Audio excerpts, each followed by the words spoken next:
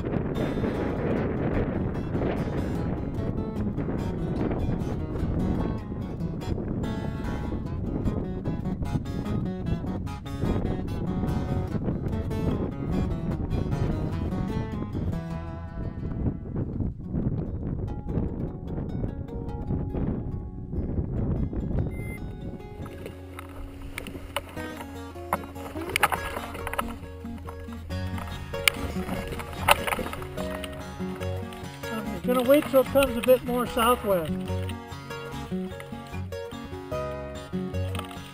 Probably, I'll probably walk up to about right there and run down that way. Yeah, get it as smooth as possible. Maybe be able to mow it. We could we could keep it mowed, or even a sickle type of thing.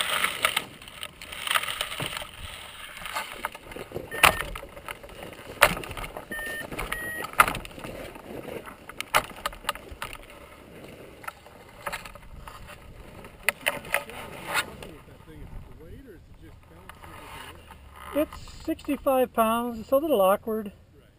Once you get used to how it handles in a wind, you can let the wind do some of the work. It's looking pretty good, really. Just waiting for a little bit more wind. right. Yeah. The slope's pretty nice as it is. Right. Um, yeah. You know, over time we could fill in low spots, knock down higher spots. And it looks like it's generally upslope, so the Harrier took off.